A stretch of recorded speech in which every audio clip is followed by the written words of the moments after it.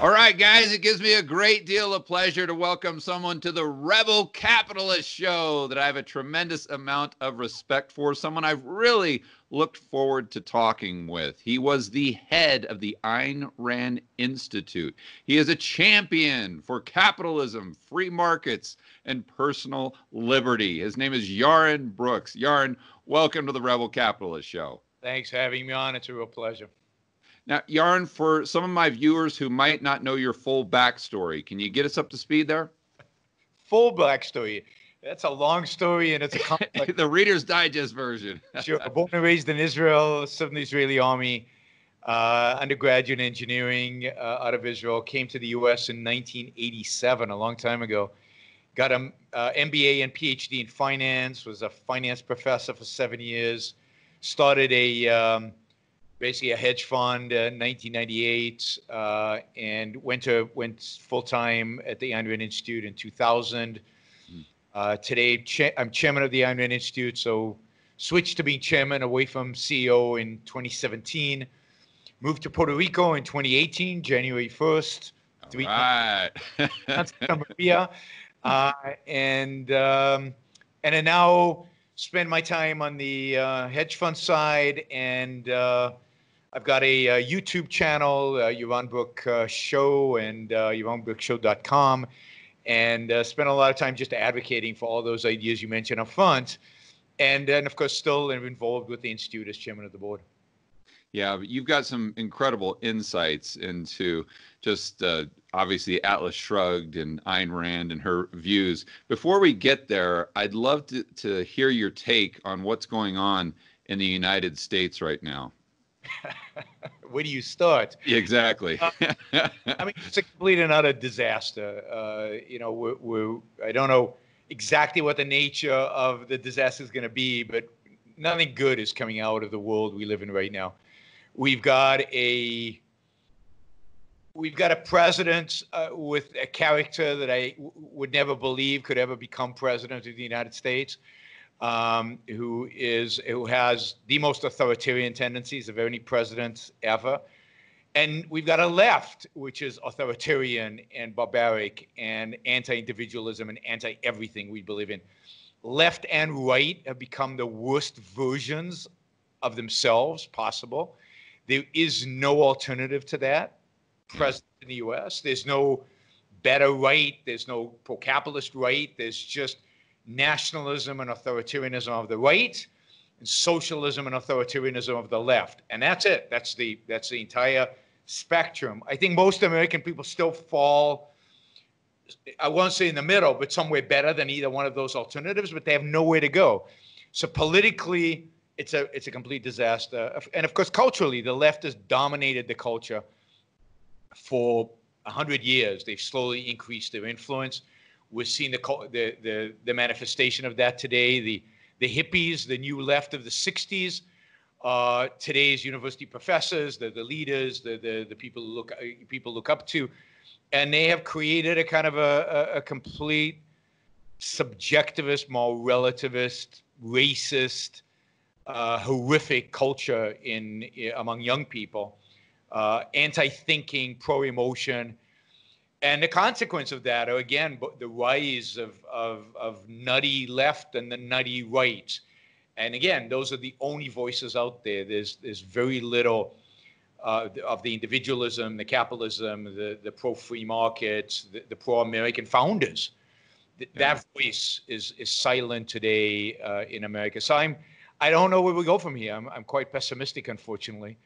Yeah, um, and you layer that on top of these corporate bailouts that we've had, you know, that started in 2008. yes, we haven't got economic issues, right? The Federal yeah. is bailing everybody out, you know, buying individual corporate bonds now, not even just ETFs. Yeah, right. They, they, would buy ETFs is, is horrific.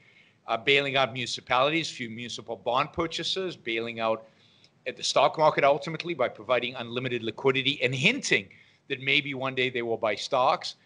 Uh, you know, and then at the federal government level, uh, corporate bailouts, which of course we've seen for quite a while. Remember, Ronald Reagan bailed out Chrysler, and uh, and of course Bush and Obama both bailed out the the car companies, auto companies, and now that's on steroids. So we've got a completely um, dysfunctional economy. You know, uh, uh, Trump used to say the best economy uh, ever. That was complete nonsense. I mean, the economy yeah. was barely growing at two percent. Um, it was struggling, and and you know, innovation is down, productivity is not rising at anywhere near the levels you would expect. We have a an economy that, in a sense, never recovered from 2008-9, and now has received this shock. And given what the government is responding, you know, printing basically six trillion dollars out of thin air, I don't see how we recover out of this shock that we just got. That is, I I, I predict stagnation. You know, for, for for for the next couple of decades, I just don't yeah. see I think a lot of people have been focused on the money printing and the Fed's balance sheet Yaron, but I I see this I, I see the obviously the bad side there, but I get really worried about more and more government intervention and so we've got these bailouts. So the Fed is, let's say, intervening, but but really it's it's, it's the government as well. And now we've got the stimulus checks. We've got the PPP program. Yeah, I mean, you go down the the laundry list. It just means more and more government.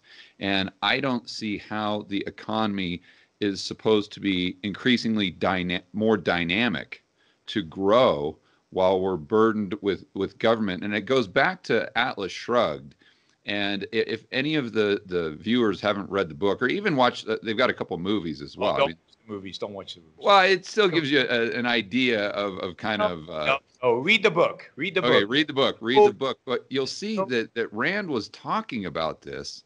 The literally the exact same things that are going on right now in 1957. And in fact, uh, uh, Yaron, I want to show this to you, buddy. I bought this hat probably you can tell how old it is. I, I work to the gym all the time, but I don't know if the viewers can see it there. Atlas Shrugged, now nonfiction.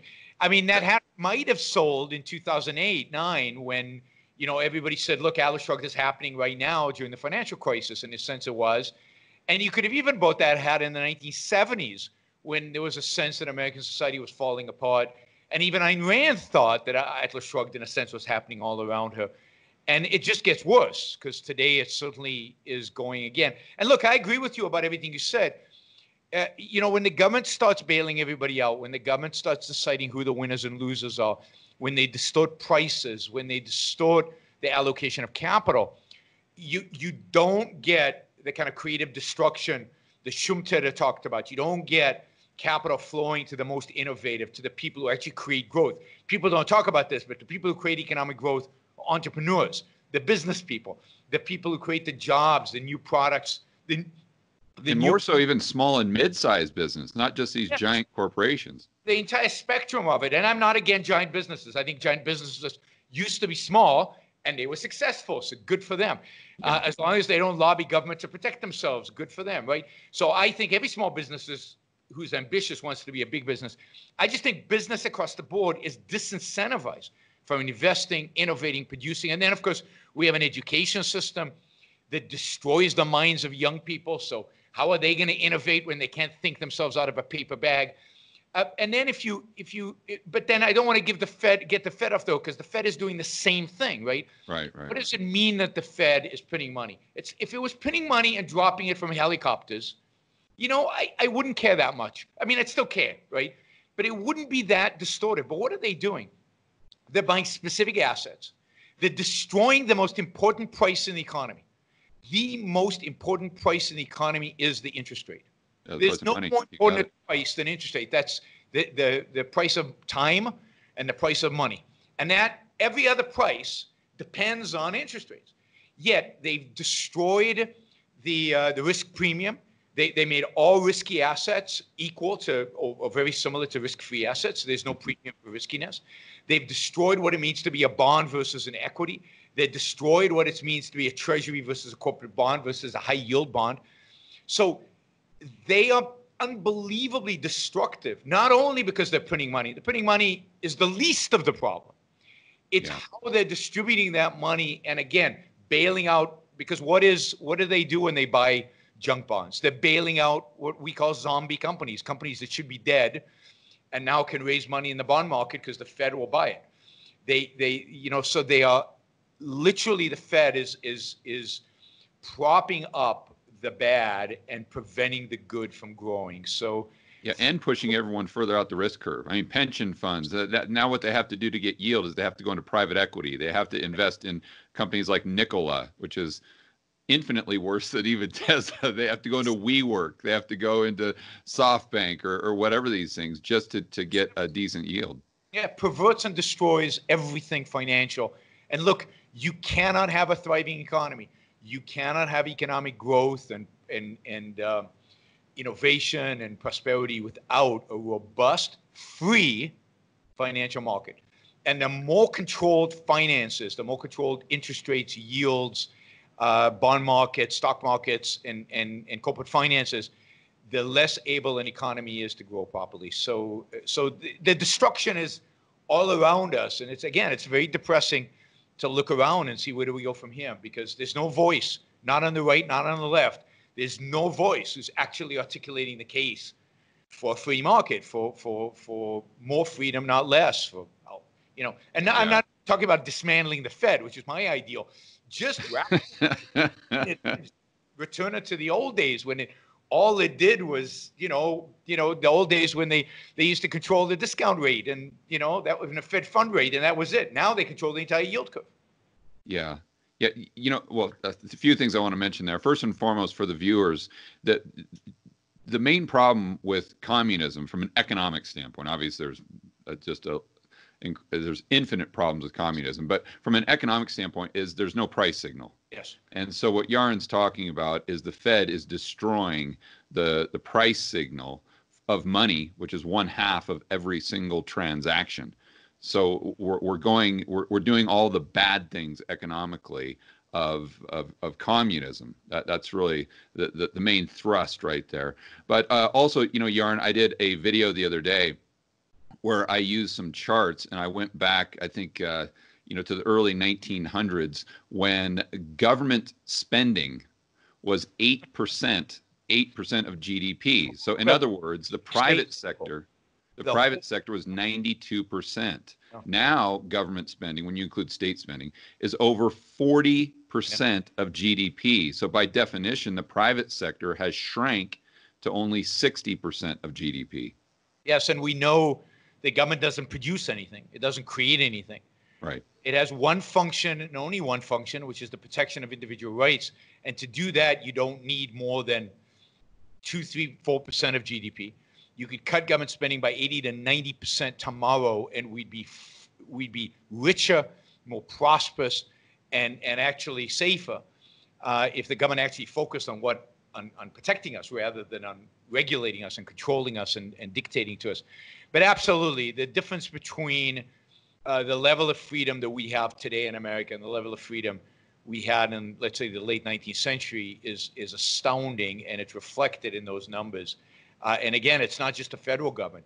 It's state governments, it's local governments, it's local city councils that now feel like they have the authority to regulate your life and what you can do with your property and what color you can paint your home and what tree you can chop down in your backyard. Oh, yeah. Every aspect is, uh, you know, I lived in California for many years. Every aspect in California of your life is regulated, controlled, and dictated to. Um, and and uh, and the only reason they can get away with it, going back to Atlas Shrugged, is because the great the producers, the the people who actually innovate, produce, grow, make stuff, let's say Silicon Valley, actually go to work every day, produce all that, and get their money taken from them, call it taxes, in order to subsidize control, in order to subsidize the ability of bureaucrats to control our lives. Uh, and in Atlas Shrugged, I don't want to give it away, but think about what would happen if suddenly Silicon Valley disappeared, just disappeared from California.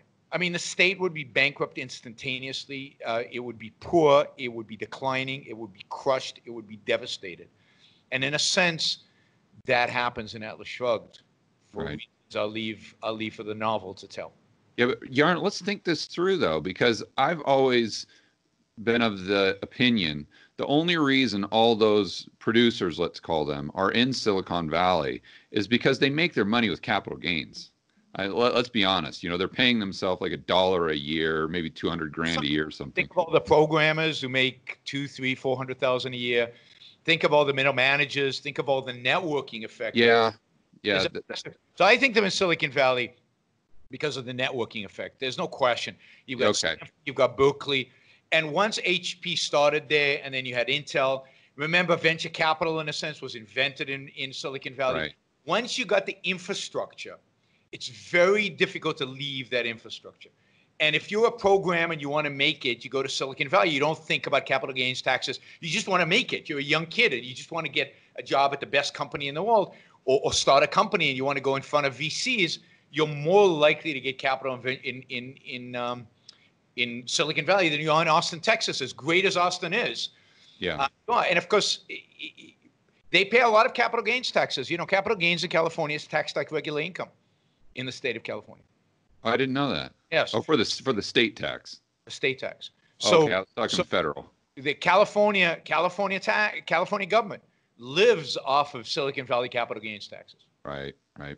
Yeah, but then let's talk about Puerto Rico because when I was there eh, back in 2013, 14, I remember. I mean, I'm sure you've gone through this process where you've got to go register to vote, you've got to get your driver's license, and Yeah. and back then it was kind of a new thing. And I remember being in line at the DMV, which you know takes six hours, but everywhere she Siege to stay in line for me. She called me up ten minutes before she reached the front of the line, and I drove over, and it Oh, was that's the way to do it. That that's the way to do it. But every place I was in line, you can tell who the gringos are. and and they're there for Act 20 and 22, which is for those of you who don't know, is uh, Puerto Rico has this um, this tax setup where it's the only place in the entire world, quite literally, where U.S. citizens don't have to pay U.S. tax. So you can lower your cap gains tax on on few things down to zero, and your business income down to a four percent, if not lower. So anyway, when I was in all these lines, you know, I talked to everyone, say, "Hey, yeah, where are you from? Where are you from? You're from Act 22 or Act 20? Oh, yeah, yeah, yeah, yeah." And probably 95% of the people that I spoke with were from California. Yep. And now you look at guys like Schiff, like yourself, uh, Mike Maloney, Harry Dent, uh, Simon Black with Sovereign Man. All of these people, these producers, have now gone to Puerto Rico. I don't know if I maybe put myself in that ring as well, but you know, but in Puerto Rico, great example of this, you know, this who is John Galt? You know, we're we're we're getting out of the United States. We see the writing on the wall, and it's like, listen, I'm I'm fed up with it. I'm done. There, the, do a cost benefit analysis, and the juice just isn't worth the squeeze. absolutely. But on the other hand, we're small fry. Yeah, you're right. I mean, when when when when Apple shuts down in California and moves out of Puerto Rico, th- that'll be a game changer. But Yeah. uh, for now, we're just too. It, it, it's too small fry. It's it's a lot of it's motivated by ideology and by, or, uh, you know, we're not quite rich enough. Like like the super rich don't seem to care about taxes as much, and we're not. And we're right in the middle there where we where we care a lot because it consumes a huge chunk of our disposable in, uh, disposable income.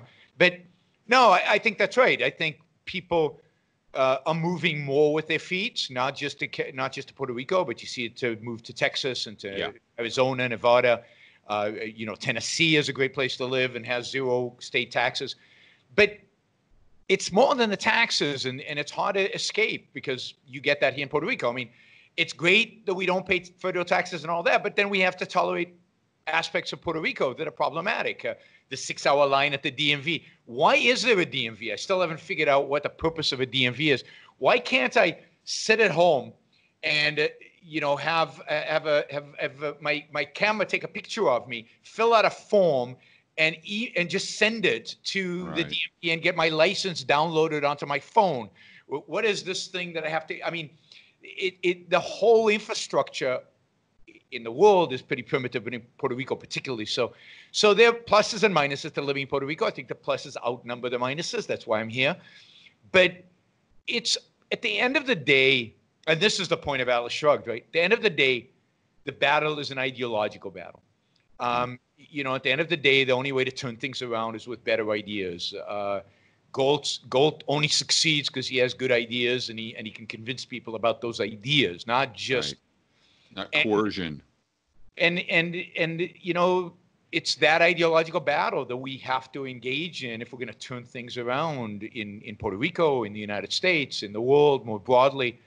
Uh, and until we convince, you know, if you've read Atlas Shrugged, the, the Dagny Taggarts and the and, the, and the Reardens, the, the giants of the giant entrepreneurs, the real innovators, the people who really move the economy forward. Until we convince those people, the great businessmen of our era, uh, that they're being exploited by the system, that they that they need to take care of themselves, that they need to be more self-interested, that they need to be more focused on their freedom and their liberty. Uh, until we convince them, yeah, a few of us will be in Puerto Rico, and that's great, but the world will not change because of that. Yeah. See,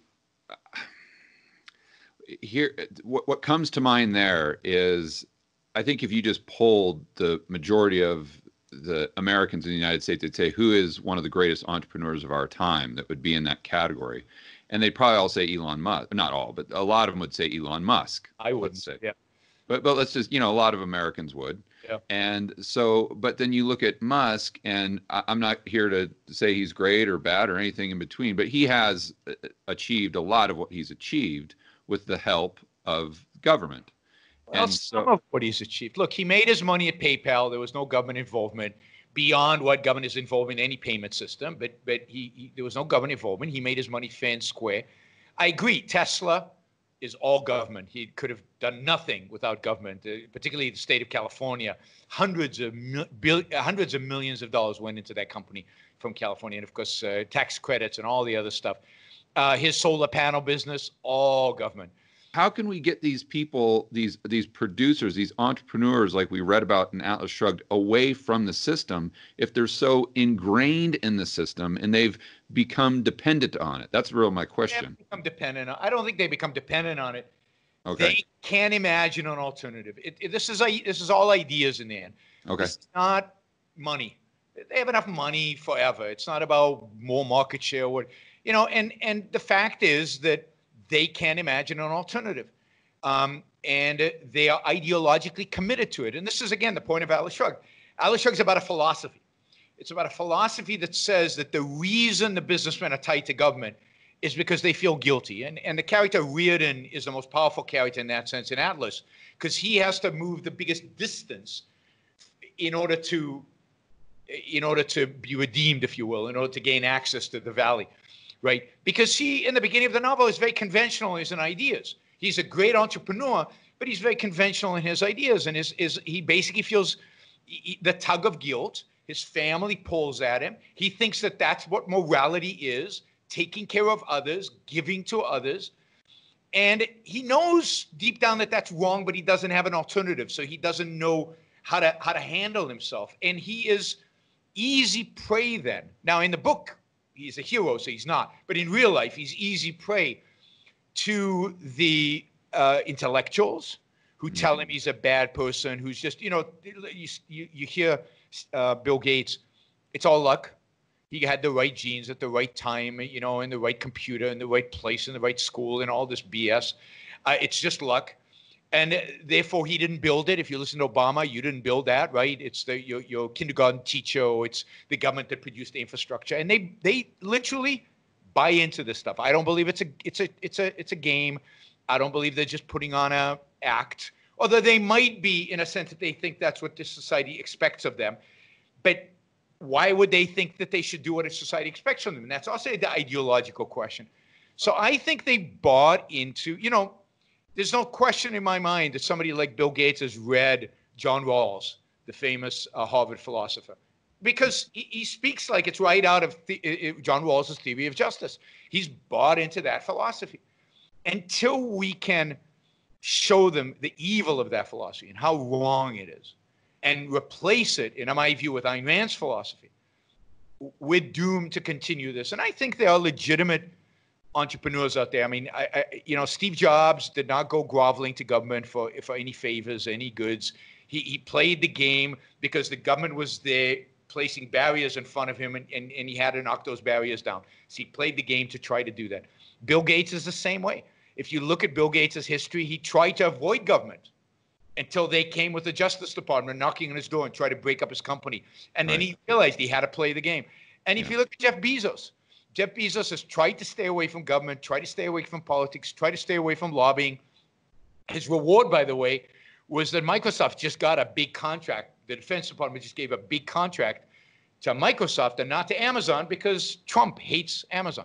So it's all about, I mean, our politicians have their tentacles in everything. And right. if you're a businessman and you want to survive, you better play along. Now, what we need to give them is the backbone. You know, one of the great tragedies, in my view, one of the most uh, disgusting things that I that I observe in the world out there is when Congress brings in front of them a successful CEO, oh. Like Mark Zuckerberg, yeah. or or in the past there was like CEOs of auto companies or the CEO of banks, even banks, right? And they lecture them. Yeah. On um, their derivatives portfolio, you know, on, on on derivatives when the congressmen know zero about any of the like they, they they'll ask them about CDOs or CMOs. When if just one of these CEOs would turn around and say, uh, Congressman, would you mind telling me what a CMO or CDO is? They have no clue what they're talking about. They, they don't even know how a checking account works. Exactly. Yeah. So these these people sitting up there who who have the power of the gun, the power of government behind them, who have not employed a human being in their life, who have not run a business, who know nothing about running a business, who have produced zero, actually negative, because everything they do in government is a drain on production, lecturing to the most productive people in our society, to the people who actually employ people, create jobs, build jobs, do the best that they can in a horrific environment. And they're lecturing them and telling them what they can and cannot do, what they should and shouldn't do.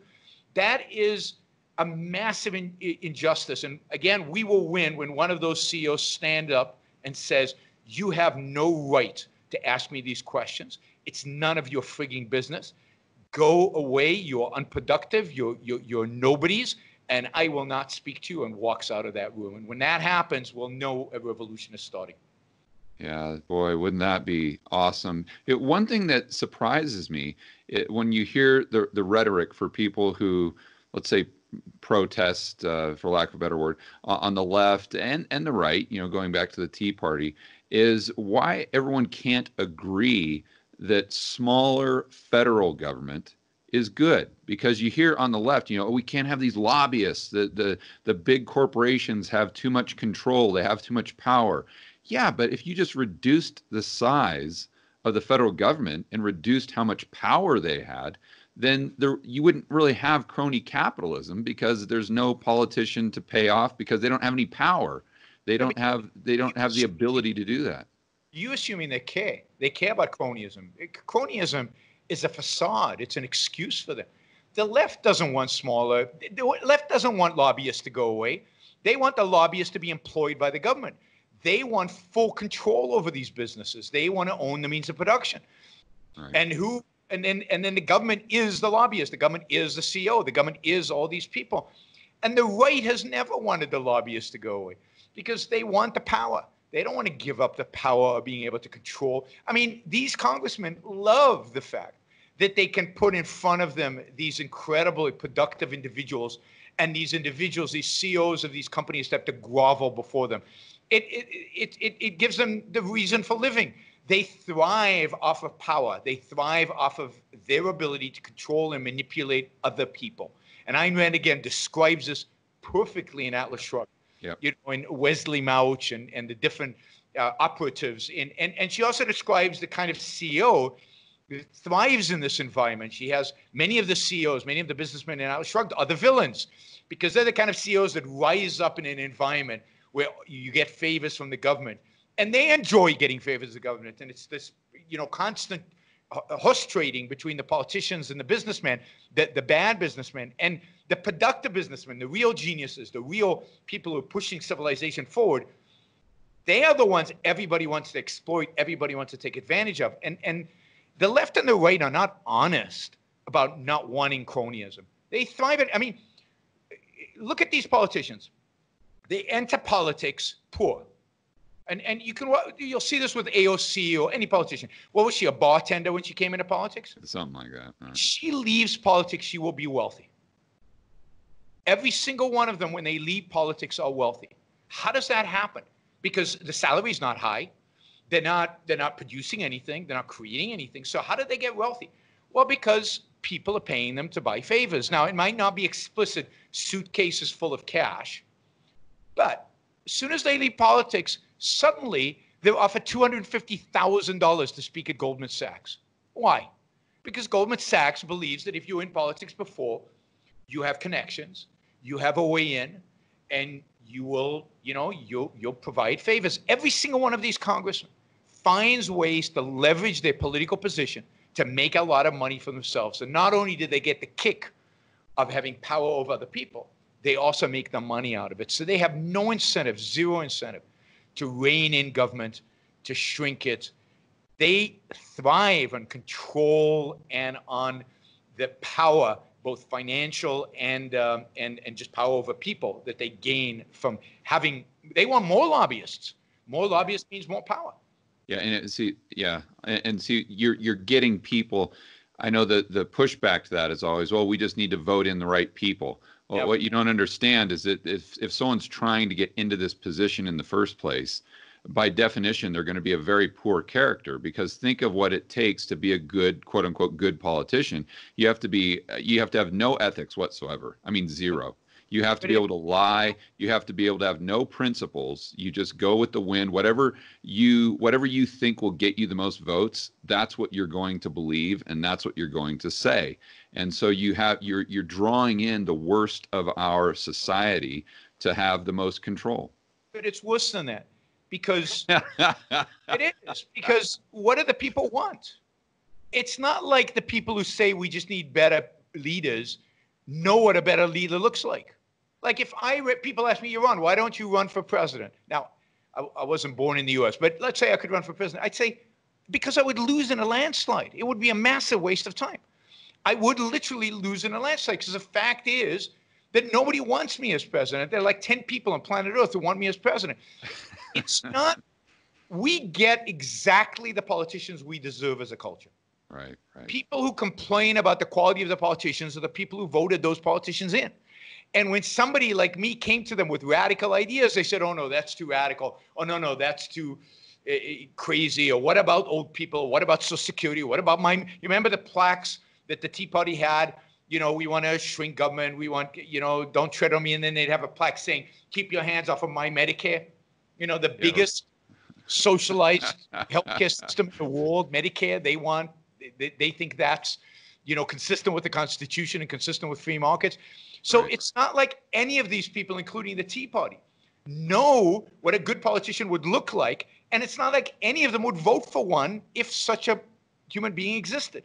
So it's they vote for the politicians that reflect their ideas. When the culture is good, when the culture believes in free markets, you know what will happen to politicians?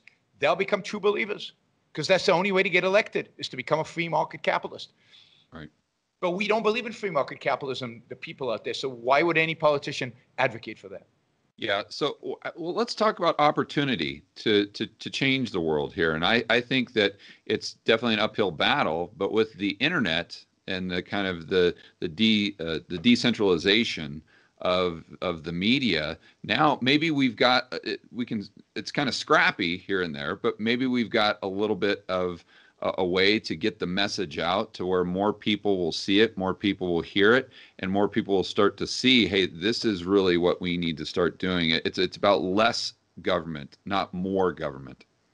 It's our only opportunity that we have. we we there's so few of us, and there's, it's such a tiny voice. Um, we have to start speaking up. And, and yes, I think the internet provides us with this amazing opportunity. Uh, marginal cost of zero for adding another person uh, mm. to watch your video. Um, and the challenge is, of course, to gain size, and it's a numbers game at some point. And the other challenge is to have the right message. And I think that the challenge with the liberty movement is, uh, you know, and and and I know this is somewhat self-serving, but I think it's also the truth. I think the biggest tragedy of the liberty movement is they don't take Ayn Rand seriously enough.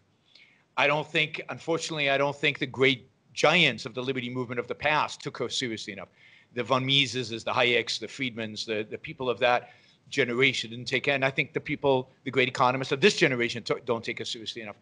You cannot change a culture on economics alone. Nobody cares about economics. People don't vote their pocketbook. People vote what they believe is right versus wrong. People vote their morality. People associate with the heart, but it's really the mind. They vote what they think is right. They, they vote what they think is moral What Ayn Rand provides, and she's the only one in the liberty movement to provide this, and this is why she has to be adopted more broadly and has to be talked about more broadly.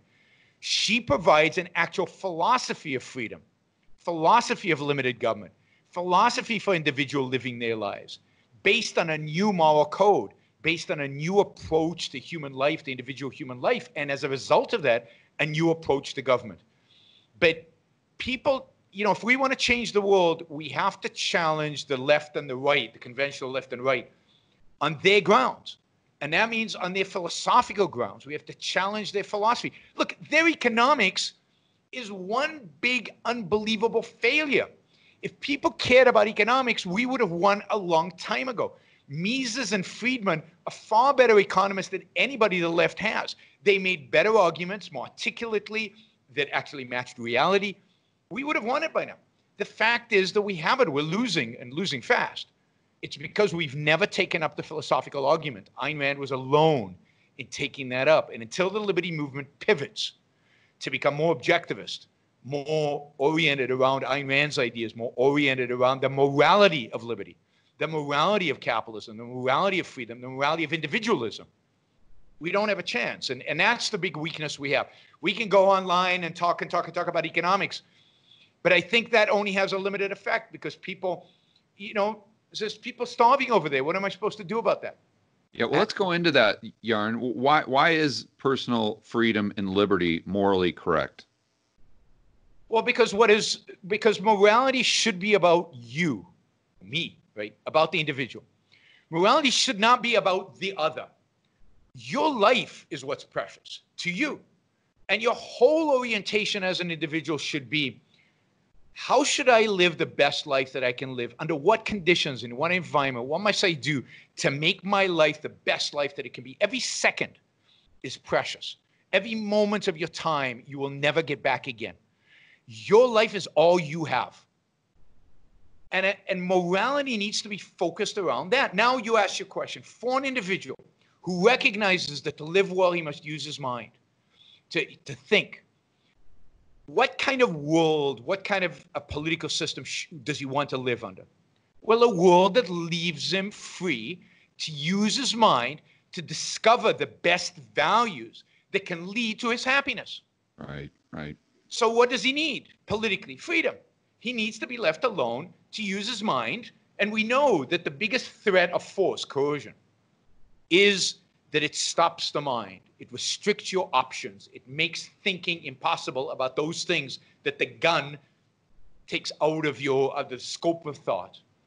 So if you're if you're a rational individualist, a rational egoist, what you want is get rid of coercion, get rid of force. And then you say, okay, to do that, I need to establish an institution, call it government, whose sole responsibility, only job is to is to get rid of the bad guys, to eliminate force as a way in which human beings interact. So, not for the purpose of some social utility, maximizing social well-being, good economics. Who cares about all that?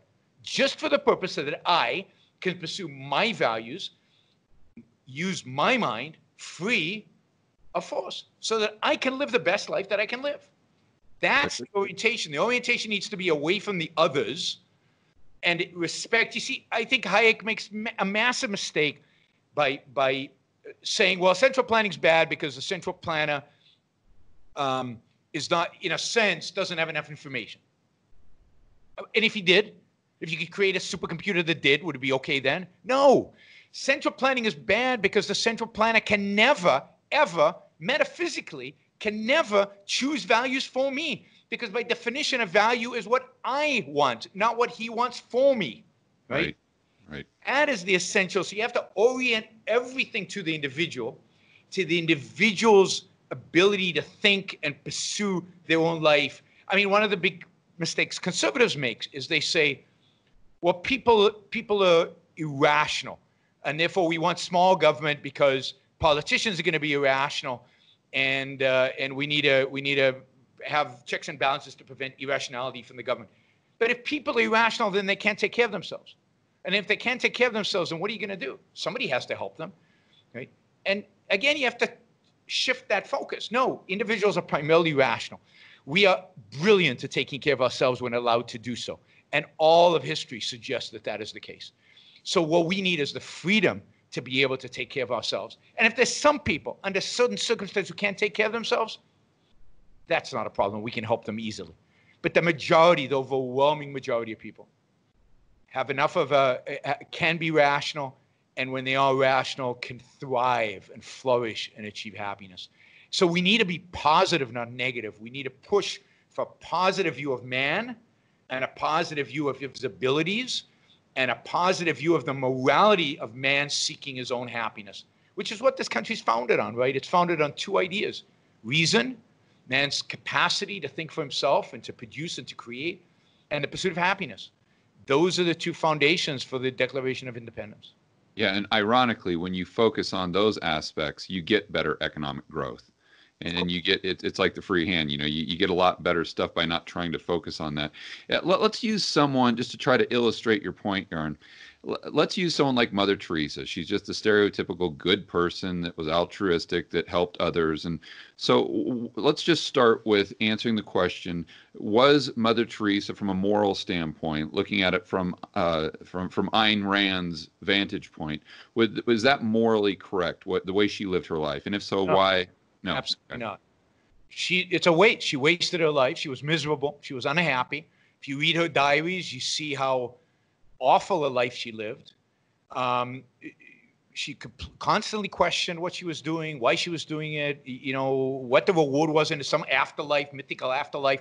She had to, she had to create a fantasy to justify what she was doing. I mean, the world is is heaven enough if, if you know how to live your life properly. And that's what morality is about. It's about living your life properly and creating heaven on earth, achieving your own happiness here on earth, not about an afterlife. So, no, she lived an immoral life, an immoral life. And she helped very few people. And, and if you follow Mother Teresa, you know that what she did is she helped people who were starving not starve. But that's it. She refused to help them succeed because she believed the meek shall inherit the earth. So you wanted meek people because they were good. Uh, suffering, poverty was a good, not a bad thing in the world. But contrast to, which I do in my talks, to a Bill Gates.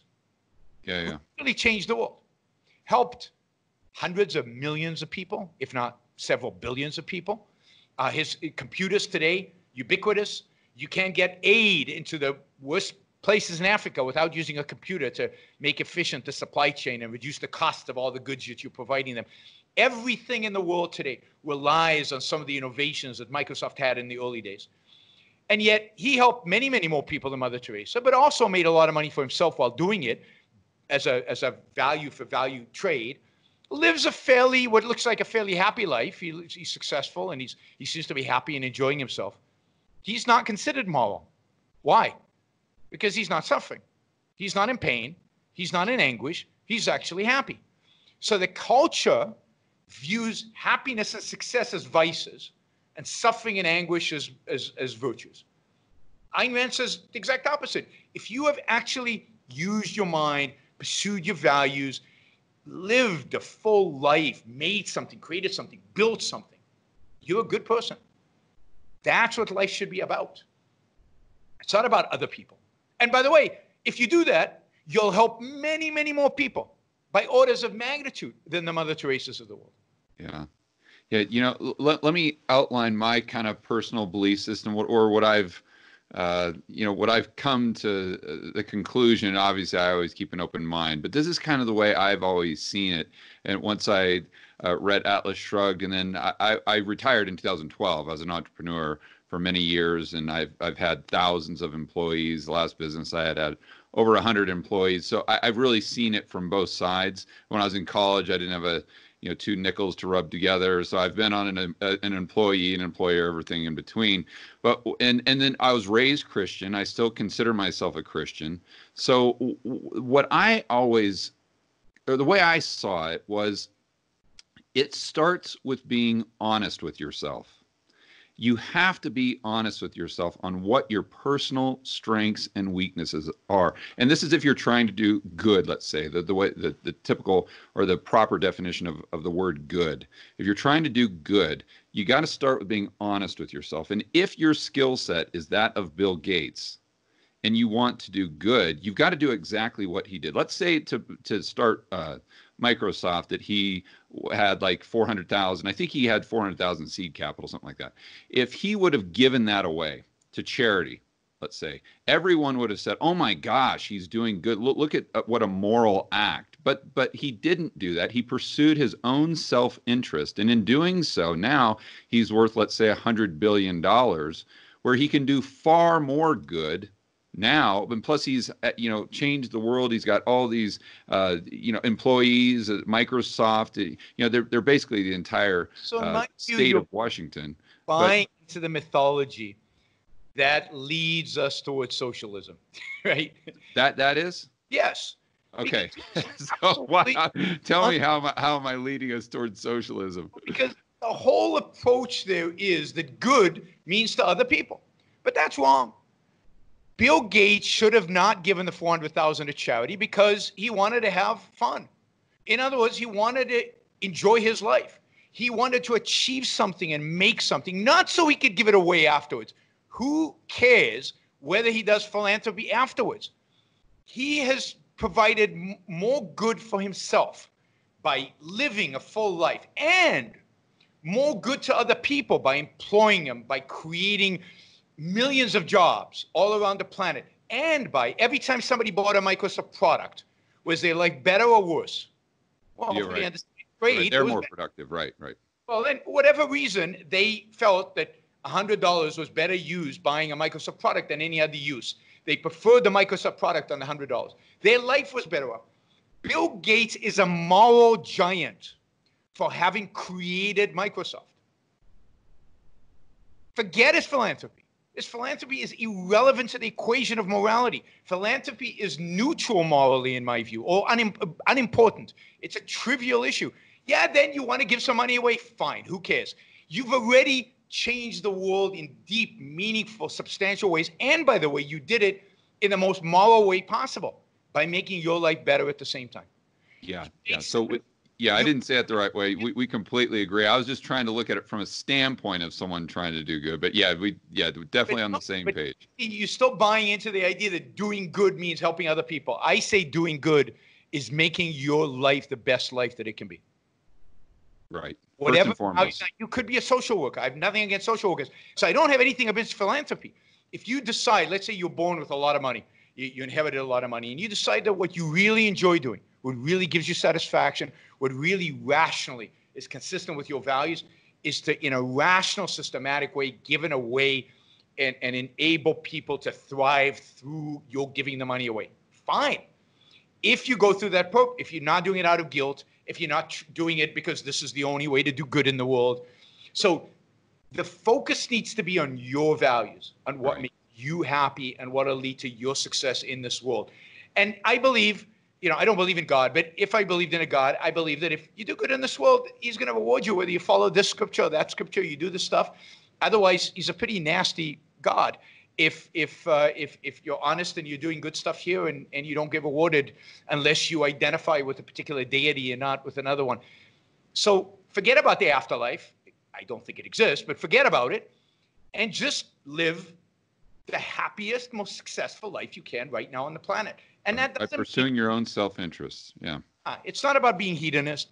It's not about momentary pleasures. We know that you know because we've lived a while, right? That real happiness comes from long-term thinking, from long-term planning, from execution, from achieving meaningful values, from the pursuit of something that has substance. It doesn't come from just you know pleasure for the sake of pleasure. Not that I'm against pleasure, but just that that is the guiding thing of your life. So, you know, the whole way in which people think about morality needs to change. It yeah. needs to change about thinking of the other, altruism, to thinking about self, egoism, which is as a long tradition going back to Aristotle. And Ayn Rand, I think, is is is the the the, the most important thinker in that tradition. And until and then once you do that, if what I care about is my own life, mm-hmm. now I care about my own freedom. It's obvious, right? And I want to produce, I want to make. I don't want see if Elon Musk was an egoist, he wouldn't take government handouts because government handouts undermine and undercut any achievement he makes. And he knows it and it eats at him. So if he really cared about his soul, then he wouldn't do it. There's a there's a magnificent scene in the Fountainhead Ayn Rand, Ayn Rand's The Fountainhead, Yeah. where this architect has designed this beautiful bank building, and he's a starving artist. He has no money, nothing, and he presents the plans to the board of this bank, and they say, "Great, we love it. We're going to give you million, you know, whatever you. We're going to give you a huge amount of money to build the building, but we want to make a few changes, and the changes they make are going to undercut his integrity." And he says, "No." And they say, "But you're going to get a lot of money." He says, "The money's not worth it if I have to sell my soul for the money." And he walks away and he goes works as a manual labor in a in a quarry, you know, uh, uh, digging up rocks in order to sustain himself. But he's willing to do that to fight for his integrity. So being an egoist is not about the material things. It's about your integrity. It's about your honesty. It's about your your your commitment to facts and reality, and sticking to those and living through those. And somebody like that does not want to be told what they can and cannot do, what they, where they can and cannot open a business, how much they pay their employees, and what to build and what not to build. Yeah. How does integrity and pursuing or being an egoist or pursuing your own self-interest, how does how do those two things intertwine? Because some would say, uh, Yaron, that, that, that they're antithetical. Yes, well, to, to, to really dig deep into that would require an hour, but but it, to, to, the, to viewers to read The Virtue of Selfishness by Ayn Rand. It's a little book, and the first essay is called The Objectivist Ethics, and she talks about why integrity is essential, not just nice, but essential Yeah. for being an egoist. Um, and, and I'll give you the outline. Basically, to be an egoist, the most important thing one must respect is the mind. Yeah. You must respect the fact that your only means of knowledge, your only means of providing for yourself is by thinking. Emotions are not tools of cognition, and revelation is not real. So the only thing you have is your mind, your reason, your rationality. Integrity is just an aspect of that. If you think certain thoughts and you think those things are true, and then you act against them, you're negating the value of your own mind. You're negating the value of your own ideas. You're negating the value of your own thinking, which then undermines your own life psychologically and ultimately existentially as well. And in Ayn Rand's, in the book, in The Fountainhead, she's got two characters the one who sells out and does whatever people, and the one who doesn't. And you can see, and a lot, you know, it's a, it's a fiction, so it's not a true story, but you can see the trajectory of their lives, and you know people who've lived those lives, and you know that it's true. That is, uh, people with no integrity cannot be happy. Elon Musk, deep down, cannot be 100% whole with himself. Even as much as he's achieved, he cannot be completely whole with himself because he knows that he has sold out in, in important ways in his life. And that's sad because I think Elon Musk deserves happiness given how productive of a genius he is. I think that the fact that he sold out and, and went for the government subsidies and the government goodies is is truly sad. Yeah. Do you think there's an argument for a higher purpose, like from his standpoint, saying, well, if I take the government goodies, then I'm achieving, let's just say that uh, his main goal, and I'm not saying it is or isn't, but his main goal is like global warming. He says, if I can conquer go- global warming by taking this government hand, then maybe it's justified. Is, is, is that an argument or not? Certainly, I think it's the way he rationalizes it to himself. Yeah. But I think I'll go back to a point you made earlier about honesty. I think I think if he was honest with himself, a is Tesla really going to save the world from global warming? We all know it's not. Uh, if if global warming is real, we know it's not. And if it's not real, it's it, it's just a way for him to uh, build his toys. And I don't think he does it for the money. I think he does it for the toys at somebody else's expense. Uh, so and, and and build his prestige and, and just have fun, you know, the, the the the fun of building an automobile the way he wants to see it, but at somebody else's cost. So I think if he was honest, he would realize that what he's doing is just rationalizing, not actually living by his principles. And I think again, to the extent that a person doesn't live by their principles, to that extent they can't in the end be happy and and can't live the best life that they can live in this life. Yeah.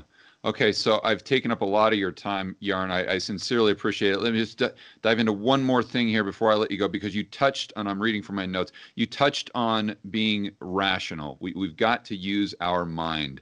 And what I see, the the biggest change that I see since since when I grew up in the 1970s and 1980s compared to now, is back then people would always use the terminology as an example. I think.